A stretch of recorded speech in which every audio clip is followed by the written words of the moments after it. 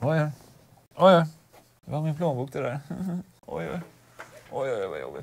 Hi, I'm Ola Englund and today I'm trying out Axiom. And before you neglect this video and go watch some clickbait shit-ass video over here, stop. Don't leave because this shit is amazing.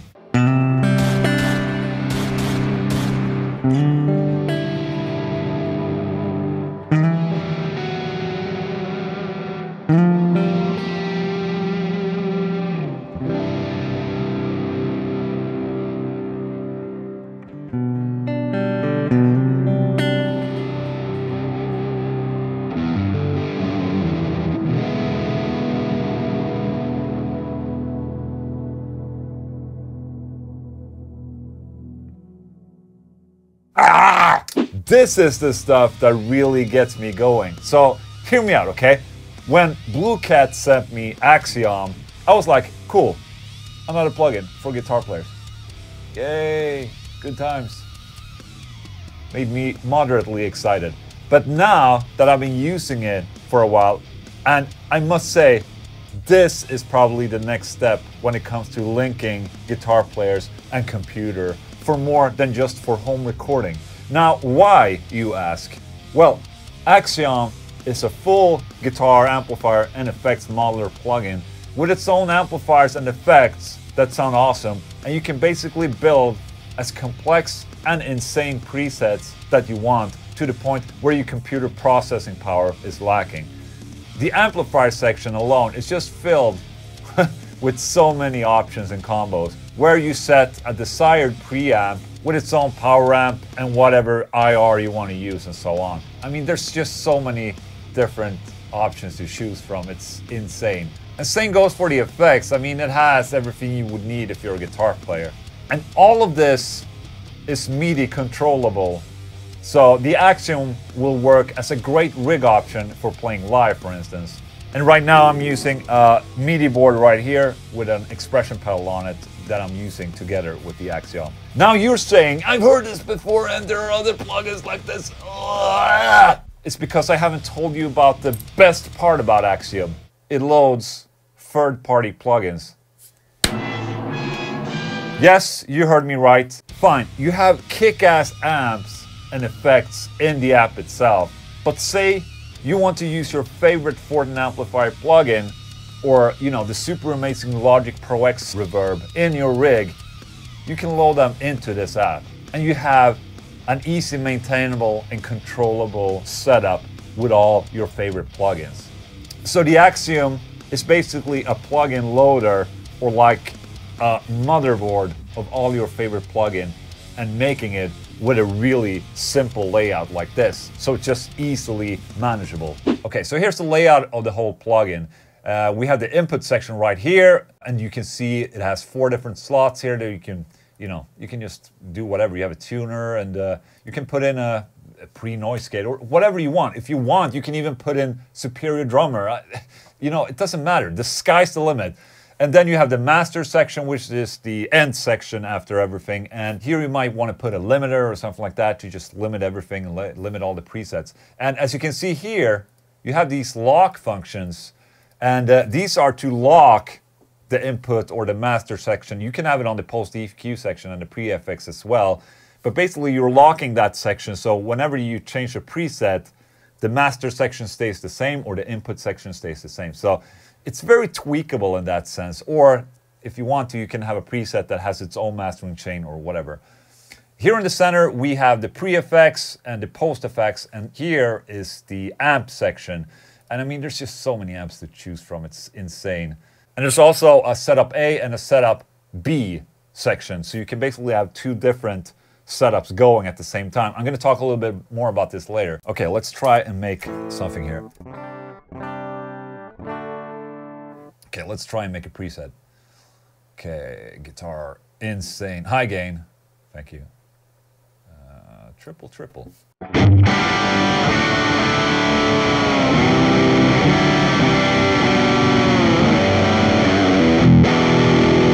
Okay, so here's the amp section. If you want to dwell deeper into this, you click here and you can set the different type of preamp you want, what type of amp you want, and a post filter, I mean a cabinet or impulse response or whatnot you want to use. So the possibilities are just endless when it comes to this. But let's make a really kick-ass preset using my favorite plugins. So let's just start. Let's put a load in. Okay, Fortin NTS.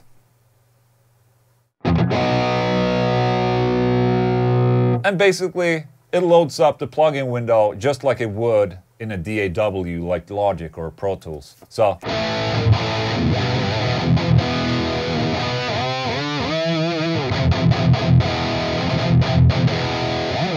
Great. Okay, let's just add a wah pedal or something. Let's see. Wah pedal. Great.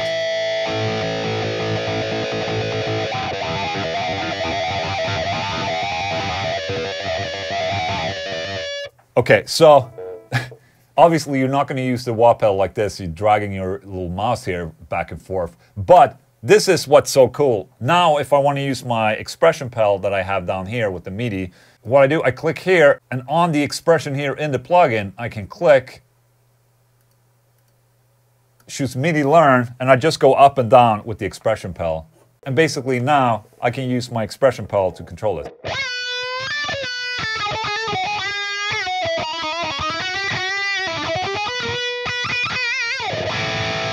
There's a couple different uh, wah models here as well to choose from. a couple. There's like a hundred of them, I guess. Oh, pitchy. Let's try this.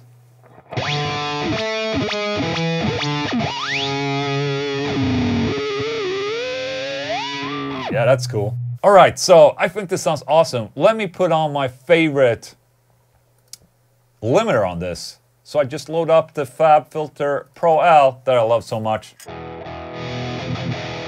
I can push this.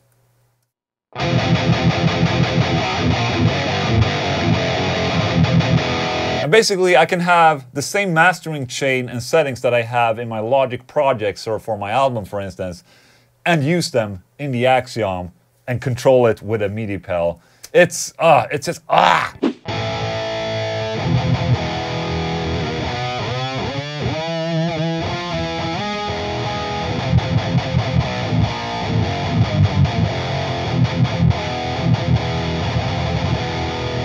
Then I have a lead.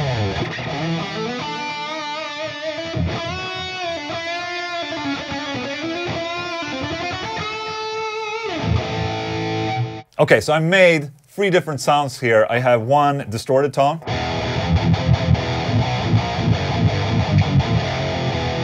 And one clean tone. And one lead tone.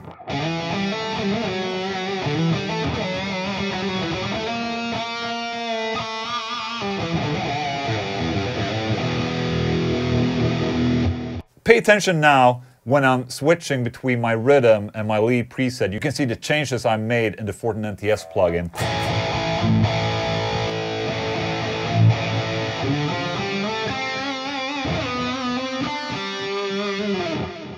And the switching is seamless, which I really like. So basically I can have different instances of and different settings on the Fortin NTS in different presets and so.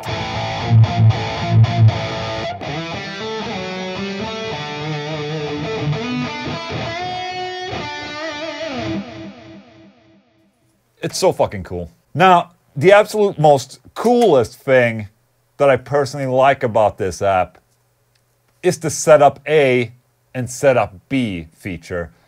Fine, you have presets like I showed you, but say for live, if you have one song that only has two types of sounds in it, you can set the first one being the setup A and the second one being in the setup B. So for instance, in setup A, I have this clean, very nice tone.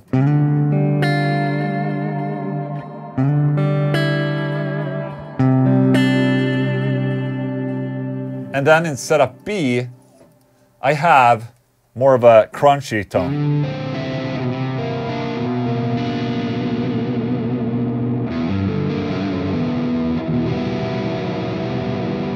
Now with the expression pedal, I've set this preset up so my expression pedal switches between the both two so I can blend them. So look at this now.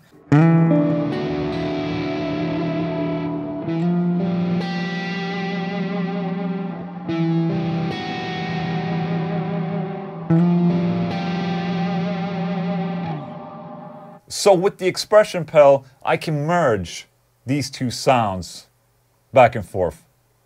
That is fantastic.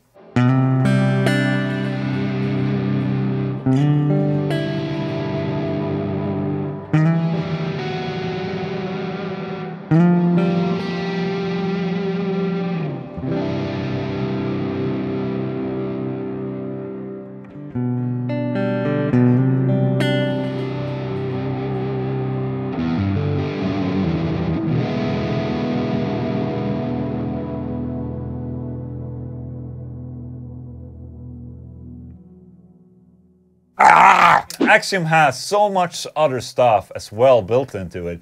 You have all the effects you would ever need for guitar. You have a wide array of amplifiers and different amp models. You even have presets to sound like the legends. Santana, Eric. I can't find my name in here. Okay, you have a tool called Reguitar where is it? There it is. Which is a tool to make your guitar sound like another guitar and pickup combo. So I can have my humbucker guitar here sound more like a single coil pickup. Okay,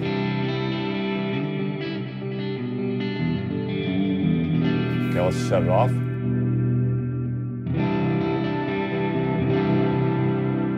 Now it's on.